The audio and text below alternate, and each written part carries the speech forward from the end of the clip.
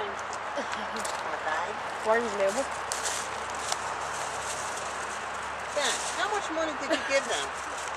Ten. How much was it? Five, six something. Maybe it might might I might be you the dollars. Tropicana. It might be a juice train. I don't. It might be. Oh wow! I turned off the camera. Crap. And how much did you have of your money in your hand? That's not Yeah. Tropicana. How much did you have in your hand? I All the used rack. the, um,